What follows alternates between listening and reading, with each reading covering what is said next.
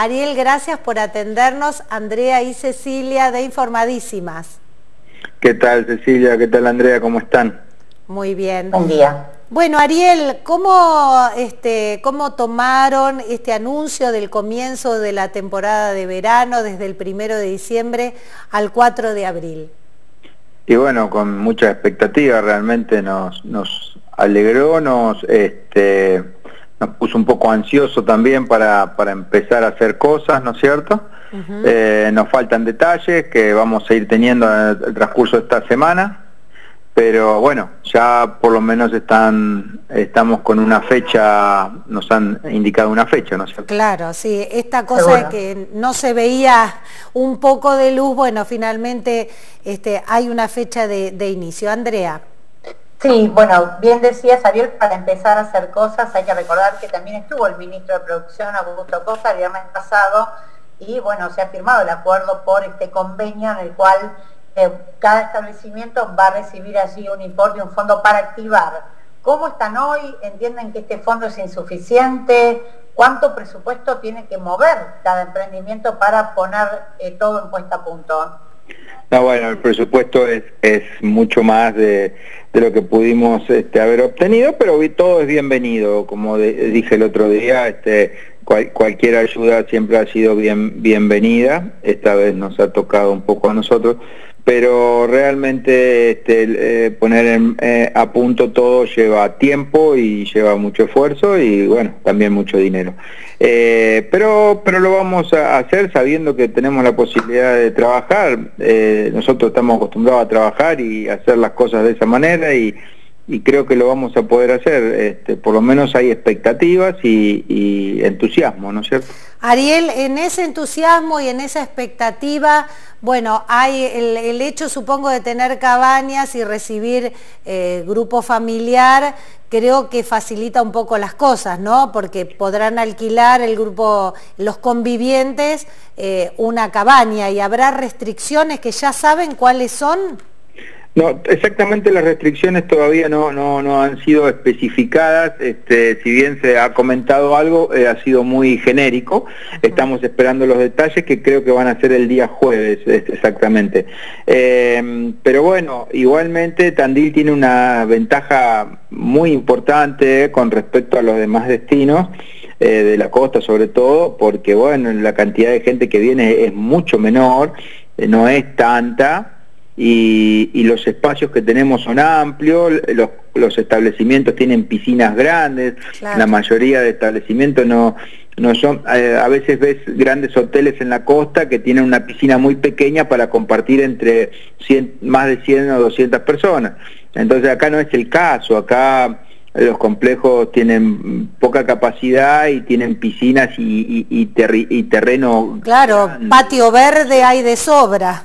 Sí, y aparte están separadas, las unidades en general no, no están unidas, entonces cada familia puede estar en su espacio, y bueno, nosotros tenemos un protocolo eh, cada uno hizo adaptó el protocolo a su establecimiento, pero a su vez trabajamos algo en conjunto con la Asociación de Cabañas, eh, también se está trabajando desde la FEGRA en protocolos de limpieza, protocolos, eh, bueno, todo eso ya lo veníamos haciendo, está todo, también tiene también la particularidad de que trabajamos todos en conjunto, entonces eso es una, una ventaja y tener el Instituto Mixto donde podemos sumar a los guías para las actividades al aire libre, donde hay em, gente de, productos regionales o de restaurante que también los podemos sumar con el tema turnos. Con, bueno, está, Tandil tiene una, una ventaja muy importante con respecto a otros destinos.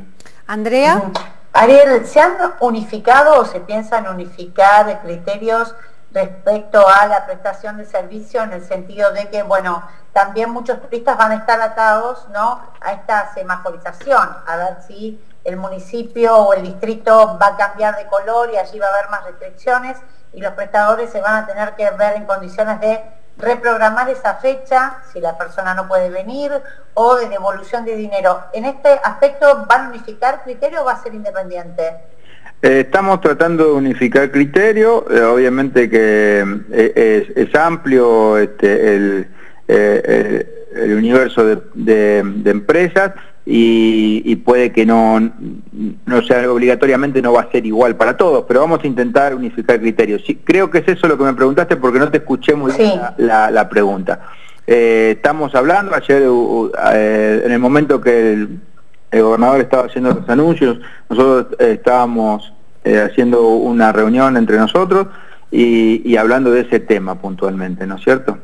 Ariel, em, eh, he sabido, ya se ha anunciado que bueno, los lugares, las quintas, los lugares que tienen como Tandil estos amplios espacios verdes, bueno, han visto, eh, han subido potencialmente por este juego de la oferta y de, la demanda, este, se han subido los alquileres de una forma realmente exorbitante. Ustedes han hablado el tema de los costos. Yo, yo te digo, el tema está ahí, el tema está en los costos. Nosotros lo que lo, que hemos subido con respecto a la temporada anterior, eh, en el que más, lo que más subimos fue 35%.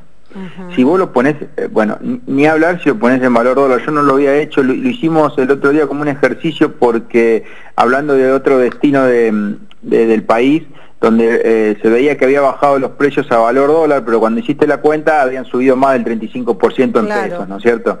Eh, los costos realmente se, han sido, hoy, hoy lo estábamos conversando también con otros colegas, eh, cada día están más elevados. Si seguimos haciendo las cuentas, a, plata de hoy, ha aumentado un montón, mucho más del 35%. Sí, sobre todo en estos días que subió tanto el dólar.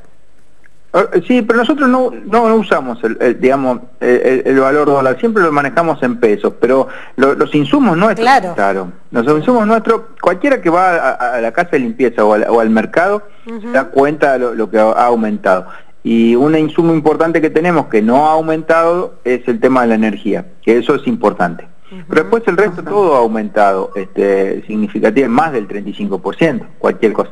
Entonces, eh, realmente no es que se pusieron esos números porque eh, el mercado está cautivo, porque la gente no puede salir afuera, no, no, no, no, realmente son los costos son altos, cuando vos tenés eh, un, equipo de trabajo importante para poder ofrecer un servicio, bueno, lo, verás en el restaurante, eh, Cecilia también, este, el, número se, se va abultando. Y uno siempre está sacando de, la ganancia para poder eh, que entre más gente, digamos, ¿no es cierto? Y es lo que hacemos siempre este año, no nos interesa ganar, realmente lo que necesitamos es... mover. Mm. Eh, Ariel, bueno, eh, me consta porque he ido a, a, disfrutar de esto, mi destino, tu destino, allí a tus cabañas hermosas, por cierto, todo el cuidado, todo el protocolo, la verdad que eh, uno se siente seguro cuando va a un lugar y se cumplen realmente todas las expectativas. Este, ¿Ustedes han trabajado con el resto de las cabañas? Sí, sí, por supuesto. Sí, sí, sí, venimos trabajando. Lo más importante para nosotros es cuidar a nuestro personal, cuidarnos nosotros para poder trabajar, porque necesitamos estar bien para poder trabajar que la ciudad sea cuidada también nos interesa muchísimo porque vivimos en la ciudad, porque somos parte de la ciudad, porque nuestros padres viven en la ciudad. O sea, eh, nosotros necesitamos que esto esté cuidado y, por otro lado cuidar al huésped que viene también porque es nuestro cliente y siempre lo hemos cuidado, ¿no es cierto? Y es lo que estamos acostumbrados a hacer. Nos podemos equivocar, puede haber un error como siempre, como a cualquiera le puede pasar en, la vida cotidiana. Sí, sí, este virus es muy invasivo y ninguno estamos exentos. Por supuesto, pero creo que eh, hemos, estamos tratando de tomar las medidas correspondientes.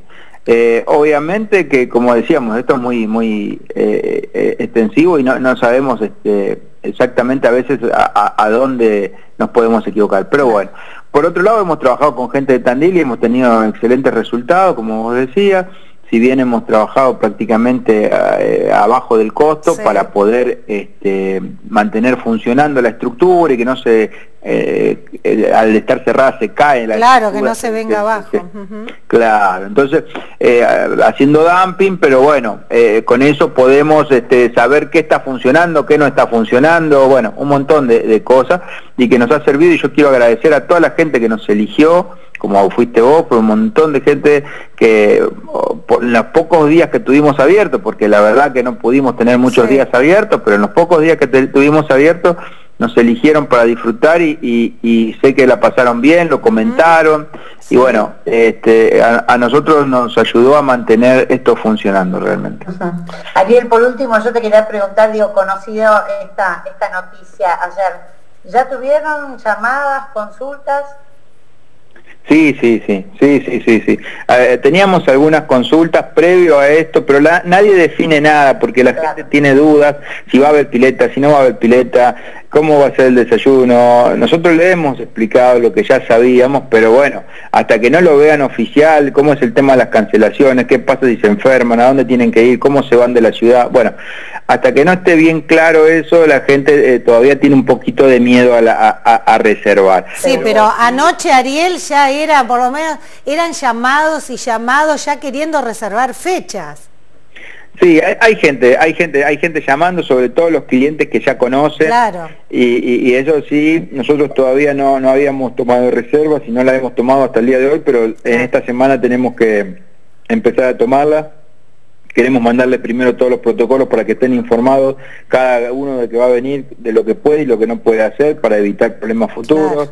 Eh, eso también te resta un poco de venta porque bueno, eh, todo ese tiempo que nosotros le hacemos perder a veces en la venta es pérdida de venta, ¿no es cierto? Pero bueno, preferimos estar seguros, preferimos estar tranquilos y si viene alguien menos, y bueno, vendrá alguien menos, pero ya no trabajamos todo el año, este, no nos vamos ahora por dos días a, complicar, digamos, ¿no es cierto? Ariel, bueno, eh, nos alegramos muchísimo en tu nombre para todos los prestadores, porque son muchos, y no es solamente, digo, la cabaña, ahí están implicados servicios también tercerizados, gente que provee, eh, no sé, desde limpieza, insumos, se mueve una, una gran cantidad de de emprendimientos que están ligados a lo que es el turismo. Muchísimo, muchísimo. Están los lavaderos, está la gente de, bebidas, está la gente de, fiambres, eh, todas las verdulerías que trabajamos con la fruta para el desayuno, las panaderías. No, no, se trabaja mucho, gente que hace trabajo artesanal. Eh, es, mucho lo que se, es, mucho. lo que se mueve.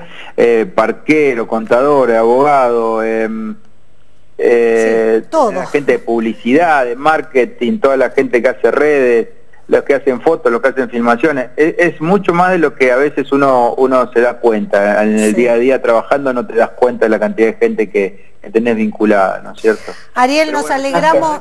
siempre estuvieron ustedes presentes, siempre nos están dando una palabra de aliento y a nosotros es importante, ¿no es cierto? Sin duda, ya te escuchamos otro tono de voz diferente al que veníamos, bueno, hablando en otras notas. Te agradecemos mucho Esta, esta charla con la radio y con el canal del ECO. No, gracias a ustedes y siempre a su disposición, lo que precise. Gracias,